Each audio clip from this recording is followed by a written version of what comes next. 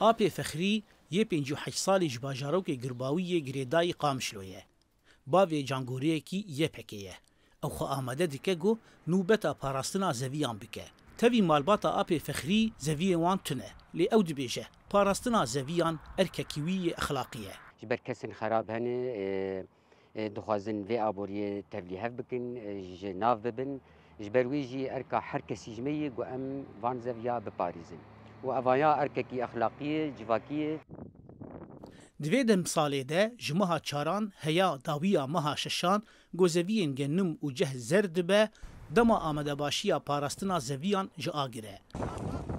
Divê MHD li seranserî xeta cutekar di navbera Hesedê û artêşa Tirkiyeyê de bi taybetî li Bakurê, Til Temir û Minbicê rûberên berfireh ji zeviyan şewitîn. Her wisa li herêma Amûdê û Dirbêsiyê jî agir bi zeviyan ket, lê beriya berfireh bibe hat tefandin.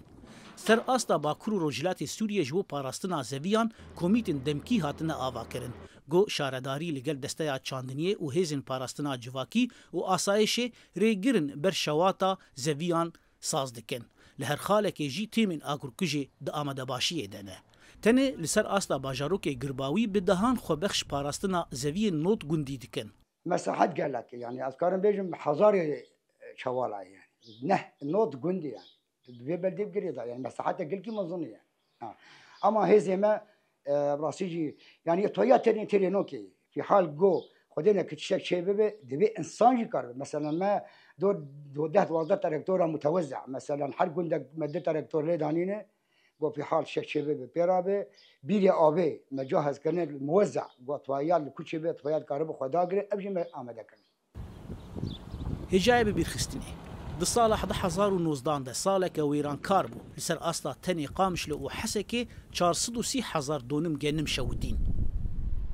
Rêveberiya Xweser şaneyên DAIŞ'ê, milîsên rejîma Sûriyê û artêşa Tirkiyeyê bi şewitandina zeviyan tewambar dike. Genim berhemê stratejîk e ji bo Herêma Kurdên Sûriyê û jê dera aborî ya serekî ji bo heftê zi sedî ji niştecihên wê deverê aliyên fermî li gel civakê hewl didin parastina zeviyên xwe bikin, zana Omer Dingê Emerîka, Qamişlo.